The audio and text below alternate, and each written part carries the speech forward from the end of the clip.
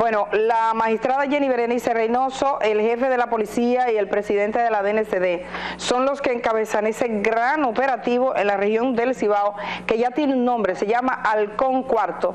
Vamos a, decirle algunos detalles. La Procuraduría General de la República ha difundido la información oficialmente que miembros del Ministerio Público, la DNCD y la policía han puesto en marcha la denominada Operación Halcón Cuarto contra varias estructuras del crimen organizado movilizan en el Cibao Central y otros puntos del país 71 fiscales, 1.350 fuerzas especiales de la Policía Nacional, militares, agentes y miembros de unidades élites de los cuerpos armados en la más grande operación realizada hasta el momento contra múltiples redes eh, del delito organizado. Eh, el Ministerio Público, la Dirección de la Nacional de Control de Drogas y la policía están trabajando en esto, investigan mm, asesinatos y eh, acciones de narcotráfico. La operación, dice la nota del Ministerio Público, contra las redes que realizaban actividades delictivas en el Cibao Central, está, eh, eh, tiene entre los principales investigados a Joel Ambioritz Pimentel García alias La J, esa es la persona que se habría comunicado con la Procuradora General de la República para amenazarles, para amenazarle. Tiene a Joel Ambioris Pimentel García Alias La Jota, que tiene dos nacionalidades, hasta donde sé. Tiene a José Hamilton Ureña, niño come mezcla. Isidro Marcelino Tavares Acevedo, Chicho. Rafael Tomás Cornil Salcedo, niño hot quien también usa el nombre de Máximo Alberto Sánchez. Kelvin Manuel Concepción López, alias El Menor, Ángel Pascual García Vázquez, Alex Capucha, Alejandro Vidal, Alex, Carlos Eric Abreu, Ureña, Brian Rafael Abreu Ureña, Litraimundo Baez Ureña, Jonás Antonio Turbí Molina, Jonás, Francisco Rosario Matías, Elimet Quiñones Calderón, José Miguel Fabián García Sánchez, José Luis José Bonilla Santana, Viento, Jensen Freud Arias, conocido como Toro, David Santiago Santiago, Fori, Kelvin Pablo García Rodríguez, Kelvin Fantasma, Alinson Moreno Rodríguez, Barajita, Luisa Maurice Pimentel García, Manito, ese es hermano del otro, debe ser, creo que sí. En la operación en proceso participan varias unidades aéreas en apoyo a las fuerzas especiales, los allanamientos iniciaron a partir de las 3.30 de la madrugada en Santiago, San Cristóbal, Hermanas Mirabal, provincia Duarte, La Vega. Se realizaron requisas en el Centro de Corrección y Rehabilitación Najayo Hombres, en Rafael Hombres, en Vista del Valle, en la Isleta de Moca, en El Pinito, en la Cárcel Pública de La Vega, en los que los miembros de las diferentes estructuras criminales están guardando prisión. El Ministerio Público hizo un llamado a las decenas de familias con parientes asesinados por las organizaciones enfrentadas con la operación a que se acerquen a la Procuraduría General de la República sin ningún temor de hablar, ya que el órgano acusador ha establecido un programa especial de protección para víctimas y testigos en este caso. El Ministerio Público y los organismos de investigación han ocupado evidencia de que las organizaciones cometen crímenes e incluso amenazas a altos funcionarios del Estado, usurpan la identidad de líderes de organizaciones adversas con la intención de crear pistas falsas. Entonces vamos, tengo más detalles sobre esto, pero quiero venir un momentito para que veamos cómo comenzó todo esto. Fueron las amenazas a la Procuradora General Miriam Germán, vamos a recordar cuando ella lo dijo, cuando fue un grupo de organizaciones frente a la Procuraduría para apoyarle. La persona que comienza el listado es quien encabeza esto. Llamaron o le escribieron a la magistrada Miriam Germán en más de una ocasión amenazándole y vamos a ver cómo ella lo contó a los periodistas, vamos a recordarlo.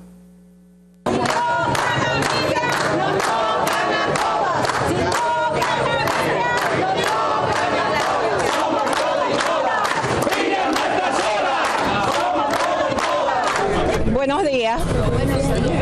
Externarles mi profunda gratitud por este tipo de apoyo y también manifestarle que yo siempre me he considerado como lo que soy, una simple servidora pública, como un maestro, como un mensajero, como cualquier eh, persona he tenido circunstancias difíciles, las he sobrellevado sin dejar la dignidad perdida en el camino.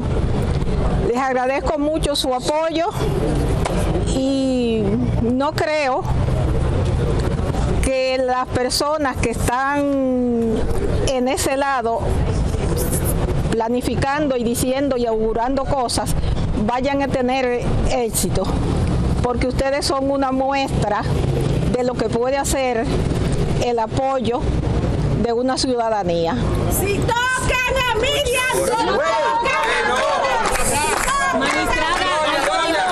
¿han podido determinar ustedes de dónde vienen estas amenazas?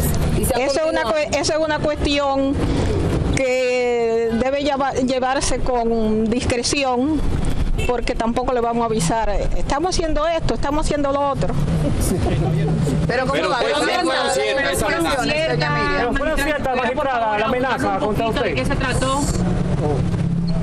Ya yo les dije. ¿En qué consistía la amenaza, magistrada? ¿Qué le han dicho por esa llamada telefónica, magistrada? Y si han continuado. Eso yo no se lo, yo yo no le voy a relatar eso ahora. Pero lo que a mí me afectó fue alguien que me mandó un mensaje por WhatsApp diciéndome que si le tocaban a su gente, no sé quiénes son su gente en las cárceles, eso se iba a resolver con sangre y que no era la mía. Que el que escribía, y lo dijo a sí mismo, yo le puedo mandar a matar a su hijo. Bueno, muchísimas gracias.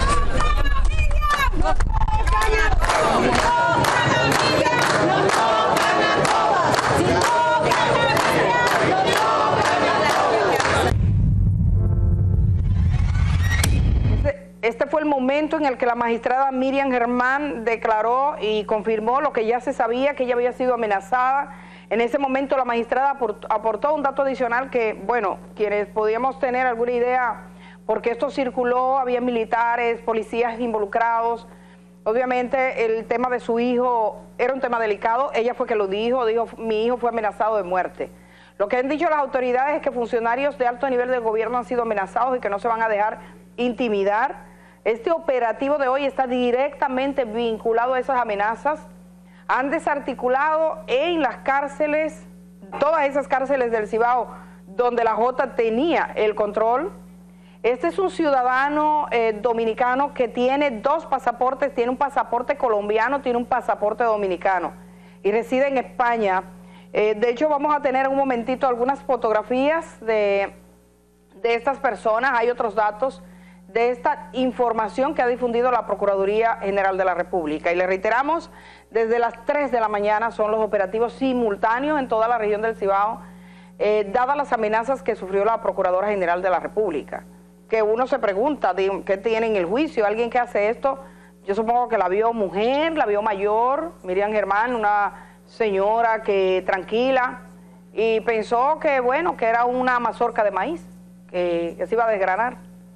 Pues no, las autoridades han dicho que no.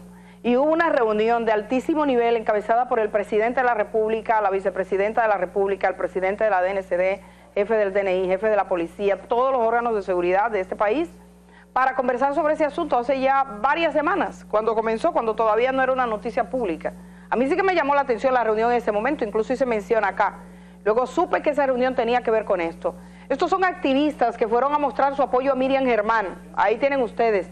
Y ella salió y les contó lo que le pasaba. Digo, yo fui amenazada, lo reconoció y básicamente está diciendo que el Ministerio Público va a actuar y que va a actuar de frente frente a estas redes criminales.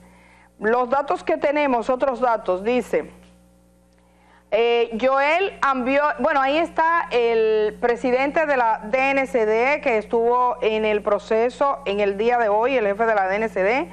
También está el jefe de la policía y está la magistrada, eh, eh, la magistrada Jenny Berenice Reynoso que encabeza los operativos. Pero regresamos a Miriam Germán para contarles algunos datos de los cabecillas de esta red. Joel Ambioris Pimentel García, alias La Jota. Este hombre aparece, cuando ustedes lo buscan, ven que tienen antecedentes de secuestro desde el año 2007, si no me equivoco. O sea, ahorita le, miramos un poco sus antecedentes porque lo estaba verificando, fue deportado de los Estados Unidos, dice la Procuraduría General de la República, después de cumplir una pena por narcotráfico en Estados Unidos. Como dominicano viajó a Colombia y con identidad de colombiano viajó a España en donde hizo residencia como dominicano. Las investigaciones lo vinculan a decenas de muertes violentas en varias provincias del norte de República Dominicana. José Hamilton Ureña, niño come mezcla, salió del país teniendo todavía una pena condicional por narcotráfico impuesta en la jurisdicción de la provincia Hermanas Mirabal. Su organización criminal es contraria a la de Joel Ambioris Pimentel García La Jota y está vinculado también a decenas de muertes violentas que incluyen miembros de su propia red. Rafael Tomás Cornel Salcedo, niño Jodot, usa el nombre de Máximo Alberto Sánchez, en la actualidad se encuentra en Panamá y mantiene una activa participación criminal en distintas cárceles del país y funge como aliado del imputado Joel Ambioris García La J, que amenazó a esta mujer que ustedes ven en pantalla, la Procuradora General de la República Dominicana. Ellos pensaron que el país les pertenecía. El condenado Isidro Marcelino Tavares Acevedo, Chicho, recluido en el Centro de Corrección y Rehabilitación Rafael Hombres, en donde cumple una condena a 20 años por homicidio y que tiene incidencia en el microtráfico.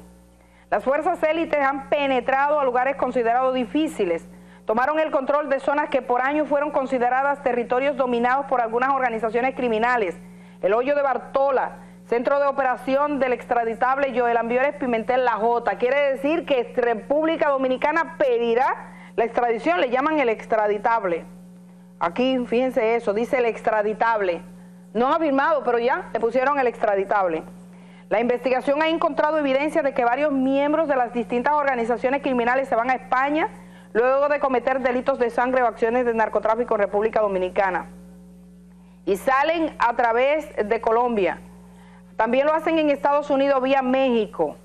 hay una estrecha colaboración con varios países a los que se le ha suministrado información de esta red. Cuéntese, hasta ahora países citados, República Dominicana, sobre todo esa región del Cibao, Santiago como centro, porque creo que él es de, en el caso de la J y algunos de ellos son de ahí, de Santiago. Me habló un vecino de por ahí que dice, mira, tales negocios, negocios, operaciones, que la gente tiene miedo de hablar. La gente recula. Entonces, República Dominicana, España, donde se encuentra alias La Jota, Estados Unidos, por donde pasan, también pasan por México, Panamá y Colombia. En Panamá hay uno que está en Panamá, se supone, lo dice la nota, tenía información en este sentido.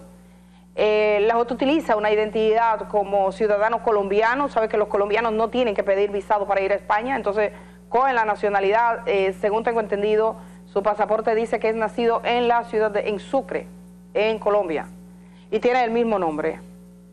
Y eh, en Panamá, esta persona que se habría escapado, o sea que es de múltiples países, según lo que está diciendo el Ministerio Público. Es un operativo sin precedentes que también le lleva al tema de las cárceles, que son tierra de nadie muchas veces, desde donde operan estructuras criminales. Todavía tenemos más. Hubo un allanamiento en un negocio. El dueño de ese negocio dice que fue un error. Yo tengo su mensaje aquí para ustedes. Hoy el programa lo vamos a dedicar a este tema, sin duda el tema informativo del día por la trascendencia que este tema tiene. Y todo el mundo en este país sabe la importancia que tiene. Bueno, señores, eso ocurría ayer. Estoy en un escenario nuevo hoy, todos los días por ahora, porque la escenografía habitual que ustedes ven, hay gente que me ha preguntado, eh, viene en camino. O sea, sí, estamos haciendo algunas cosas y por eso estamos así, como cambiando. Ahí tienen las ofertas donde pueden encontrar este programa. Gracias a todos ustedes por estar esta mañana aquí.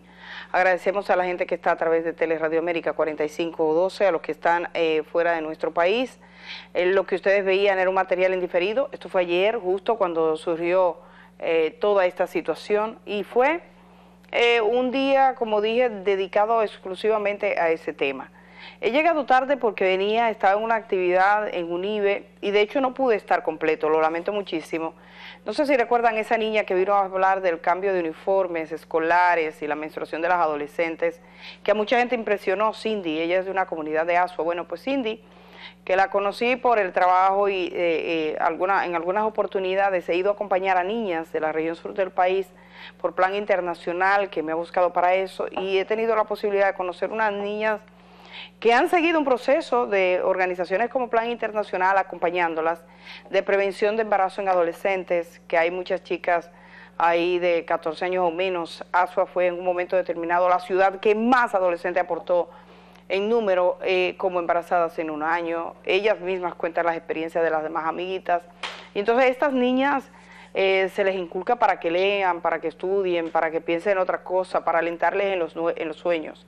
Les cuento que Cindy, la primera vez que la puse aquí en este programa, fue con una, eh, una, ella tuvo una participación, me pareció memorable y la puse. Y entonces se comunicó conmigo el eh, presidente del Consejo de, la Universidad Iberoamericana, el señor Abraham Hasuri y me dijo que la universidad quería que Cindy aplicara para una beca, que la veía brillante, que quisiera que Cindy estuviese en ese proceso y que era muy esperanzador, que ellos estaban como emocionados. Pasaron los meses, pasó el tiempo, bueno, yo solo dije a Cindy, hablamos con, las, eh, eh, con el personal de la universidad y yo me olvidé de ya después del asunto, ya ese era un proceso que corría solo. Bueno, y Cindy fue al proceso de selección y ha resultado electa, de modo que Cindy hoy le están entregando ya para que comience como estudiante de UNIVE. De UNIVE. Ella es de una comunidad campesina, una niña que en su momento vulnerable, en situaciones vulnerables de esas niñas, pero es brillante y dedicada.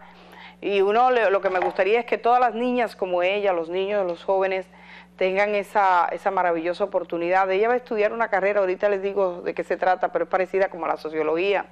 Me mandó qué significa esa carrera, es una carrera que no le he oído citar y que están dando en UNIBE. Y entonces hay otro grupo de jóvenes, le llaman jóvenes del futuro. Y la ceremonia comenzaba a las 9.30 de la mañana, de modo que yo dije, bueno, si estoy a las 9.30, eh, comenzaba a las 10, pero convocaban a las 9.30. Digo, si comienza a las 10, pues 10.40 y vengo en 20 minutos. Pero ¿qué va? Y, con los discursos y las cosas. Todavía no llegó el momento que yo quería porque eh, Cindy invitó a su madre y me invitó a mí o sea, su madre fue, que a la mamá no hay que invitarla, la invitada ahí era yo, para que cuando le llamaron, pues que le acompañaran, podían ser dos personas. Yo lamento muchísimo, me tuve que ir, porque eh, Ogla hoy está un poco indispuesta y no podía venir, y entonces no tenía como esa, ese recuerdo. ¿Tienen a Cindy ahí? Sí, la, tenían, vamos a ponerla. Yo creo que ustedes la, pusieron así brevemente, yo vi que la, la colocaron. Sí, déjenla. Esa es esa niña, de esa niña yo hablo, de Cindy que, eh, que estuvo aquí en este, en este programa. Así que eh, muchísima suerte. Le voy a decir de qué, es lo que va a estudiar Cindy. Ella estuvo acá. Pero hay otras niñas, todas son brillantes. ¿eh? Las chicas que conocí ahí en Asua, eh, que venían de, de, San Juan de la Maguana, de Asua, de, de toda esta zona, son todas brillantes. Entonces, ella va a estudiar, le entregaban el aval de la beca eh, se le entregaban hoy y eso es lo que está haciendo en este momento. Mañana le presento las imágenes porque le di a alguien, grábenme cuando suba ella. Licenciatura en estudios liberales, carrera donde se forman profesionistas competentes en el trabajo de intervención social, interdisciplinaria, capaces de aplicar el pensamiento complejo y distintos campos del conocimiento en la solución de diversos problemas sociales en los sectores público, social y privado. Eso es lo que va a estudiar Cindy. Así que nada, mucha suerte a ella. Vamos a ir a la pausa, señor director. Gracias a ustedes. Vamos a la pausa y estamos regresando de una vez.